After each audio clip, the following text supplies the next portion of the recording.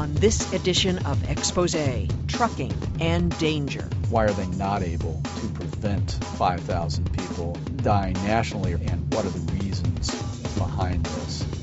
Is anyone keeping their eyes on the road?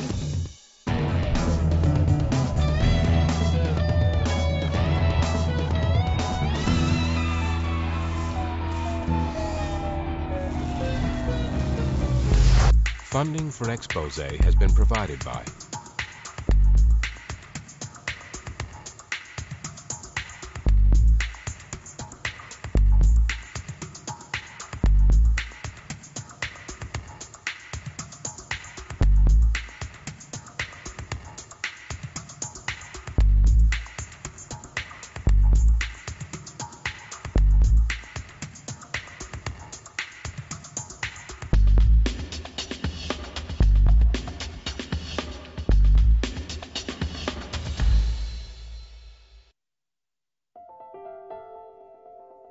Texas.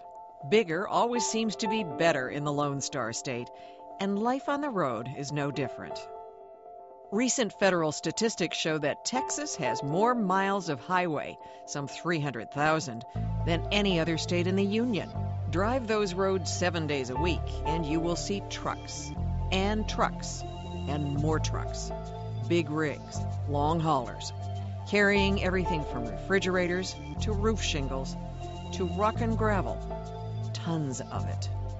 The shirt that you've got on, the shoes that you're wearing, the bed that you're sleeping in, the food that you're eating, the car that you're driving come from a truck.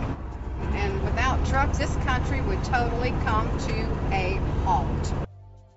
Jan Stewart has been driving for 12 years. She owns her own truck, a 1998 Freightliner. Drives at 150,000 miles a year. She goes by the nickname Pistol. Cars weigh anywhere from two to 4,000 pounds. This truck can weigh maximum 80,000 pounds. You don't understand what 80,000 pounds is like until you're sitting in this truck. You don't understand a football field is what it takes to stop this truck. So the next time that somebody comes up and slams their brakes on in front of you, you wonder, you know, what do they want? They want me to roll, run over them, you know? Is that what they're asking me to do? Pistol is proud of the way she maintains her truck, proud of her driving. She's never had a major accident, and federal records show that her company, Chasen Transportation, has the highest safety rating. Once you start running in these cities, you know what to do. You know when to uh, start making a move. You gotta be on your toes every second. But it doesn't make any difference. This next mile ahead of me is the most dangerous mile. It's the one that could be possibly the next accident. Every mile is the most dangerous mile.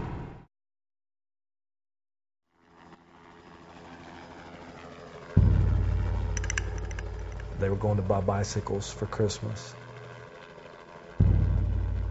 That's one of those things that still sticks with me because I always bought the Christmas presents, and so for whatever reason that day, I just didn't go. Something came over me. I drove up, and, and I could see all the lights and the fire equipment, and uh, I got out, and uh, and officers came running up to me. I said, uh, "I think that's, I think that's my car." I won't, I won't forget that the, uh, the smell.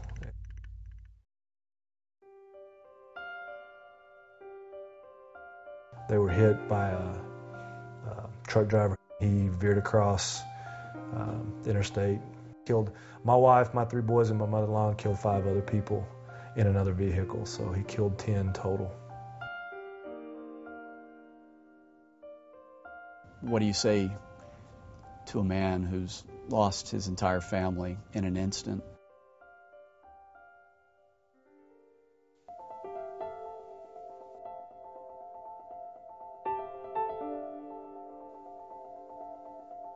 I got a call asking me if I was interested in sitting down with a gentleman who had lost his family in a uh, horrific truck crash. I had remembered this crash. It, it was a, it, it, it really was horrifying. The man that was reaching out to me was uh, Mike Martin.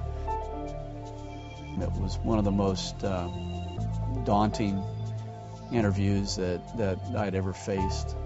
I, I went to bed thinking about Mike and his family and the story, and I woke up during the night thinking about it. I have a young son that's just a few years older than, than Mike's boys. And so I approached it both as a journalist and, and I think as, as uh, a father that there was a, an emotional connection, but I also um, saw the the um, the possibilities of a uh, of an important story. In 2005, over 5,200 Americans died in accidents involving large trucks. More than 500 of them died in Texas. At the Dallas Morning News, that simple statistic and the accident that took the lives of Mike Martin's wife and children were more than enough to motivate a unique brand of investigation. It began not with a whistleblower or a leaked document, but rather with a desire to understand dangers lurking in plain sight, in a realm most Americans know, or think they know the road. The accident that took Mike Martin's family occurred in the fall of 2004. The driver survived the crash and eventually pleaded guilty to 10 counts of manslaughter. The truck driver was a, um, a Polish uh, gentleman by the name of Miroslav Józwiak. How was it that Miroslav Józwiak drove his truck across the median into oncoming traffic and killed 10 people in two vehicles what were the factors involved that uh, allowed him to do that.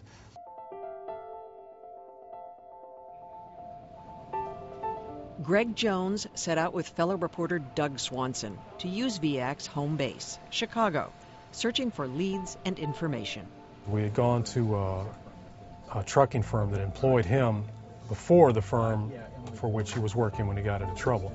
And they put us on to some friends of his. We went out late one night to a, an apartment complex uh, in Chicago and found all these Polish people to talk to us about uh, their friend Mike Józwiak. And fortunately, one of them spoke English, so had all these people speaking Polish to us and the one person translating for us. So that was a big break because we knew very little about him before we went up there. We certainly learned this wasn't a guy that was some uh, angry, maladjusted immigrant. Miroslav Józwiak was, was a man that was completely uh, devoted to his family. This was a man uh, who, at every opportunity, um, sent money home to his family, was in contact with his family. Um, uh, he had children back in Poland. He was a man with friends. But however decent a man he was, he was a danger on the road. The reporters learned that at the scene of the accident, two antipsychotic drugs that can cause drowsiness, Perazine and Sulpiride, had been found in Józwiak's briefcase. They also discovered that Józwiak obtained his commercial driver's license at a notorious state licensing facility in the Chicago suburb of McCook, where anyone could buy a license for the right price. In fact, suspicions about McCook had spawned a federal investigation in the late 90s, which led to more than 70 convictions. There was no proof that Józwiak had obtained his license illegally, but the reporter's interest was piqued. We had begun to, to establish a trail that literally led across the country uh, from Chicago to the west coast uh, down to the uh, Mexican border of uh, Miroslav Józwiak uh, hauling all sorts of products and doing it um, in unsafe equipment. Obtaining Józwiak's records from multiple states and trucking companies and a plaintiff's attorney, Jones and Swanson uncovered a history of troubling safety violations. Within the year leading up to the accident, Józwiak had been cited in six states. He had falsified his logbooks, hauled overweight loads, driven with improperly adjusted brakes. Józwiak was a very hard worker. I think the, the problem might have been that he was too hard a worker. He worked too much. He ran his equipment when it needed repairs. He drove too fast. He drove too much. He fabricated his logs so that he could make more deliveries and drive more miles every chance he could.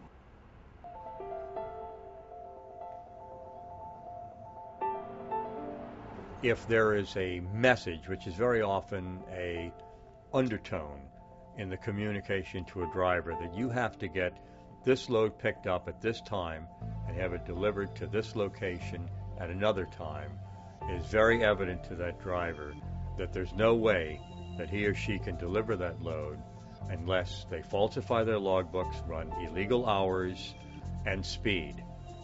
Gerald Donaldson is Senior Research Director for a Washington nonprofit called Advocates for Highway and Auto Safety. A driver who will work, on average, about double the number of hours that you and I would work in a year, an ordinary worker, will make about $42,000 a year over the road. And that's why a very famous trucking researcher who's at Wayne State University wrote a book a few years ago, and the title of his book was Sweatshops on Wheels. The News team learned that since government deregulation of shipping rates in the early 80s, the trucking industry has become so competitive, with profit margins so slim, that some 40,000 small trucking companies are going out of business every year.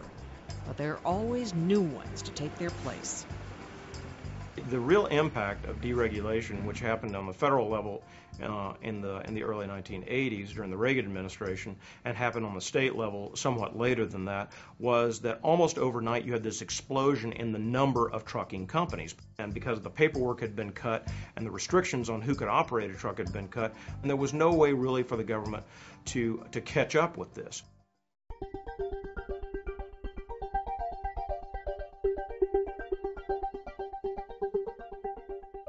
The story of Miroslav Józwiak in hand, the reporters wanted to broaden the investigation. But for that to happen, their bosses would need to decide whether or not they wanted to spend the time and the money.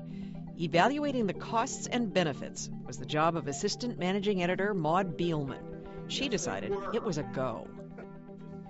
It was a topic that amazingly had never been done in the way that we were looking at doing it in Texas before, which seems mind boggling considering the state and the traffic.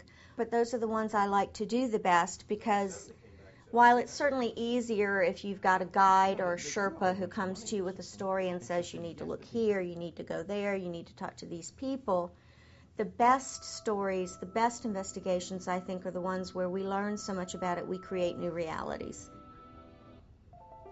The realities of dealing with big trucks were familiar in the newsroom. Like most Texans, the reporters here all drive to work.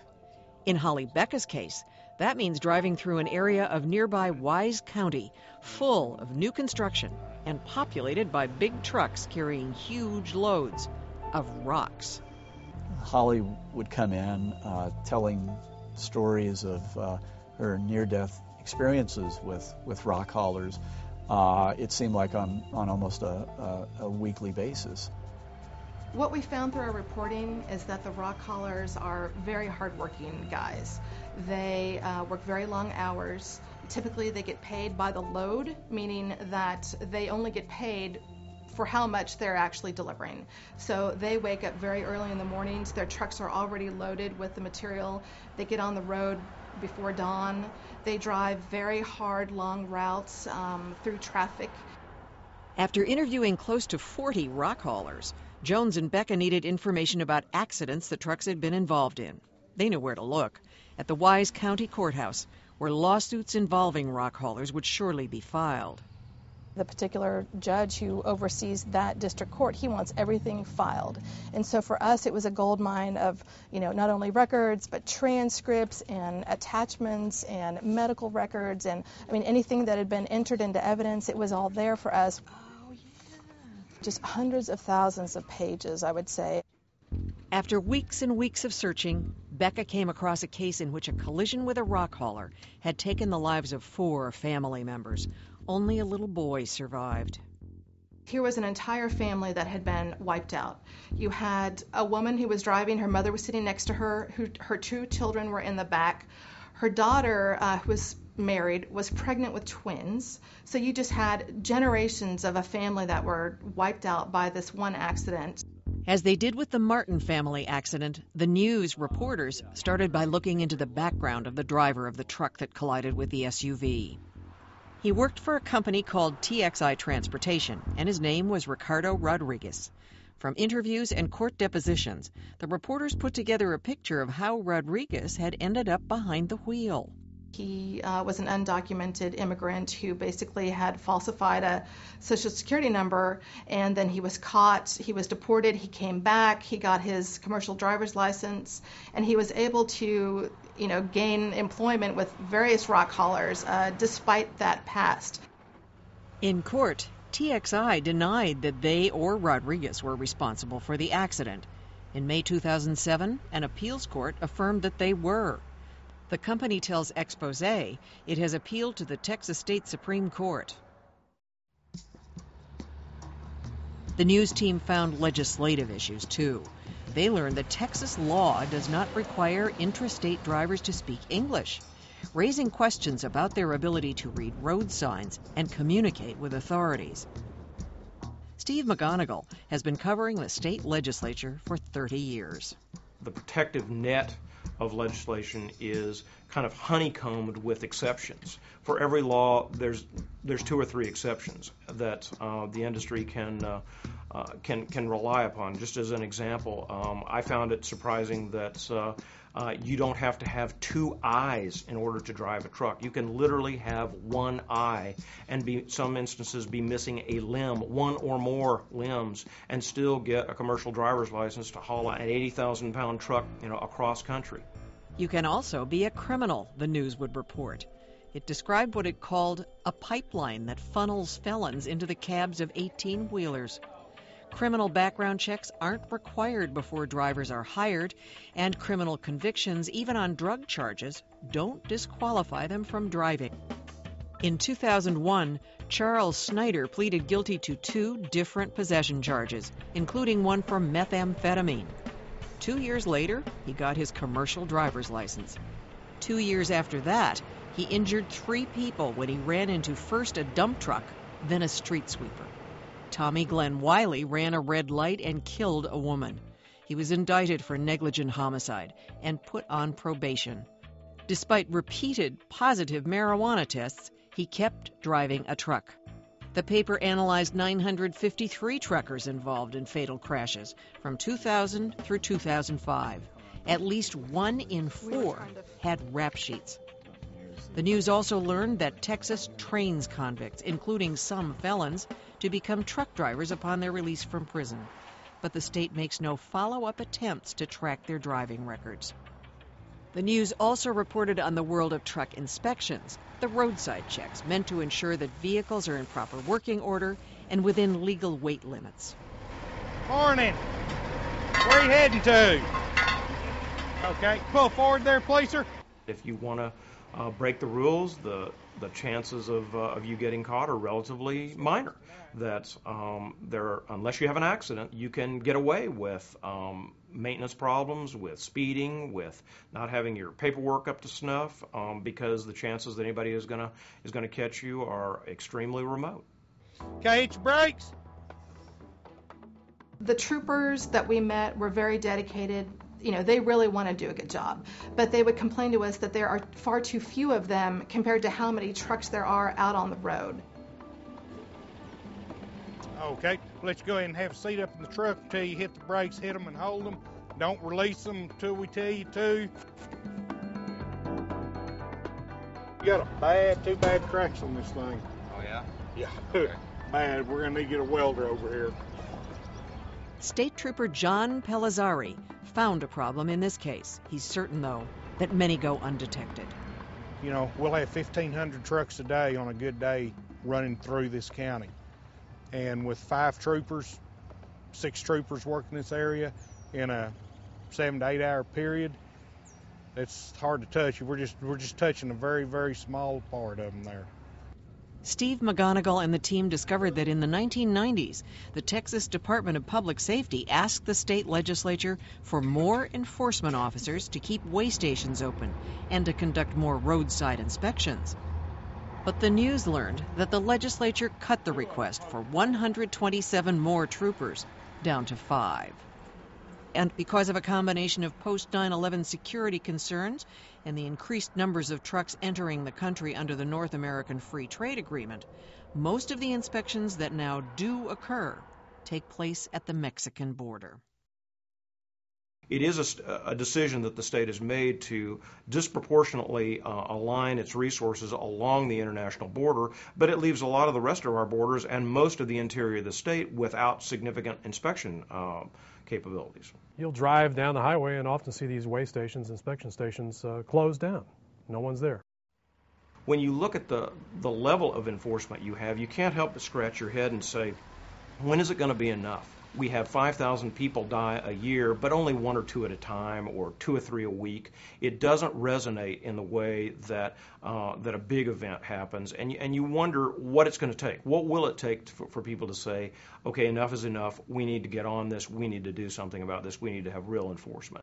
The reporter's 14 month investigation resulted in a groundbreaking 2006 series called Road Hazards.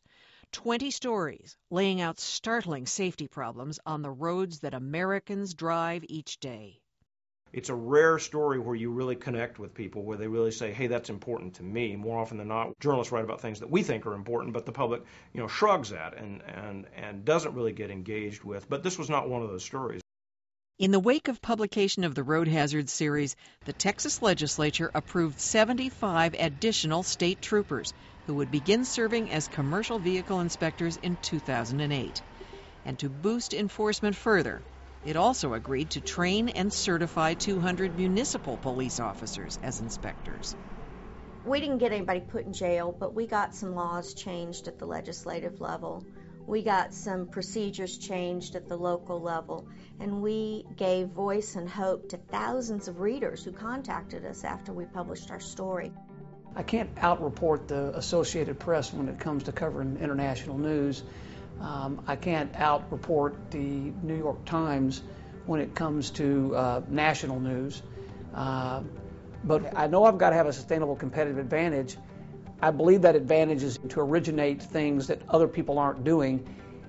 And then the nice part is investigative journalism fits beautifully under that. It fulfills our purpose and our role that I believe we have to do to keep this democracy alive. But it also, if you want to just take it as a business proposition, it's good business. I'm glad they did it because I think it's bringing awareness into the industry as a whole. There's good and bad in this industry. I want the good to be pointed out as well as the bad.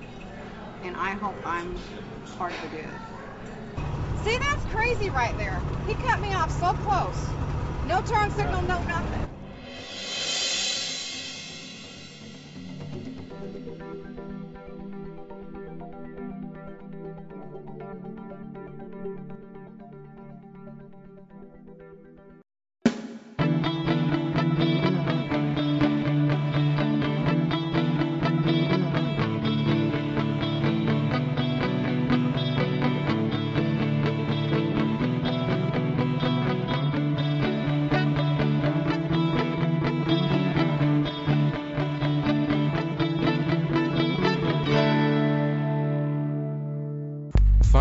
Expose has been provided by